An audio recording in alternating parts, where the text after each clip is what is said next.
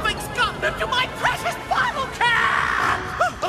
Not my rare melon juice pulled from the shelf after three days on sale, Cap! They can't do this to me, I tell you! I gave up the corn For my bottle caps, prepare to feel my wrath! All right, it's bottle cap payback time!